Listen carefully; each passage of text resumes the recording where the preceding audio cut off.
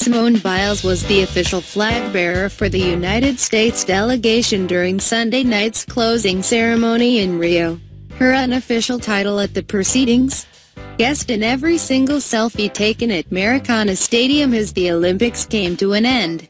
NBC put together a pretty fun segment during its broadcast that showed just how many athletes were approaching the gold medal gymnast for a picture.